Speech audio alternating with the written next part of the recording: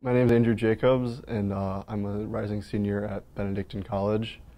Um, my project, broadly speaking, is titled Magnetron Research and Development. So um, the main reason that we're doing this project, uh, my mentor and I, is that uh, currently klystrons are used to power the accelerator here at Jefferson Lab. Um, the problem is they operate around 50 to 60 percent energy efficiency. Um, 60 percent is actually pushing it. Uh, but magnetrons that we've the research that we've done so far indicate that they will operate at 70 to 80 percent efficiency, if not higher. So this would save the lab a large sum of money uh, in the long run, uh, implementing this into if you want to power the accelerator using this way.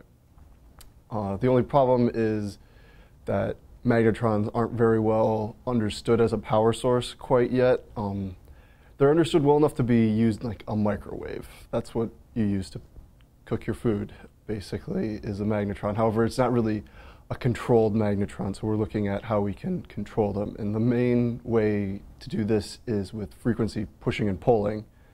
So that's where I come in. I'm doing characteristic measurements of a magnetron in uh, the lab right now. So the first thing I had to do was build a program that will be able to take all of the data. After I built this program, we'll start adjusting different parameters. For example, changing the voltage in, current in. What we're really looking for is how well we can keep the frequency at what it needs to be because the frequency that the accelerator operates is very finely tuned. So if it strays too far off, the accelerator won't function properly. This is my second year at Jefferson Lab. Um, I'm very glad that I came back. Uh, the SULI program has opened up a lot more opportunities and a lot of resources. Uh, just by being at the lab itself, I can stop and talk to practically anyone. Some people that they might not even know my name yet.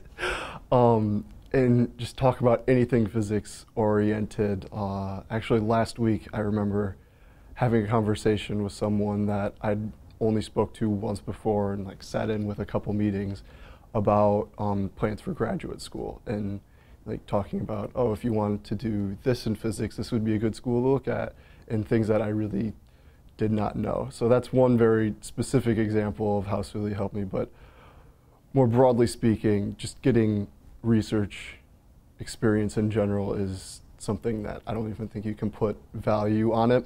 My home institution, I love it, it is fantastic, but it's not necessarily a research oriented college. So to be able to come somewhere that all they do really is research and science education is very, very helpful for my future.